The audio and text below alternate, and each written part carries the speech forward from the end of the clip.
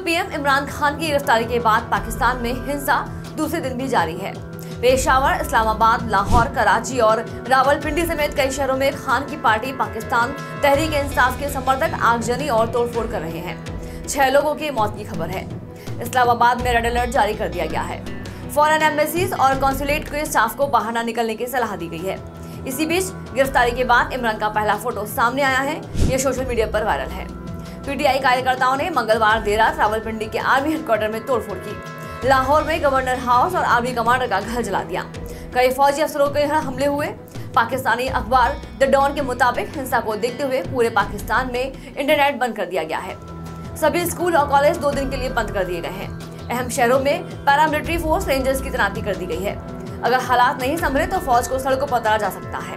इस्लामाबाद, पंजाब प्रांत और पेशावर में धारा एक लगाई गई है। मंगलवार को गिरफ्तारी के बाद इमरान खान को आज नेशनल अकाउंटेबिलिटी ब्यूरो एनएबी के स्पेशल कोर्ट में पेश किया जाएगा। उन्हें एनएबी के ऑर्डर पर पाकिस्तान रेंजर्स ने अरेस्ट किया था। इसके बाद 22 किलोमीटर दूर रावलपिंडी में एनएबी के हेडक्वार्टर में शिफ्ट किया गया था। इस्लामाबाद हाईकोर्ट ने मंगलवार रात 11 बजे इमरान की गिरफ्तारी को सही, लेकिन तरीके को गलत ठहराया। खान को इस्लामाबाद पुलिस हेडक्वार्टर लाया जाएगा। यह एनएबी के स्पेशल जज सुनवाई करेंगे।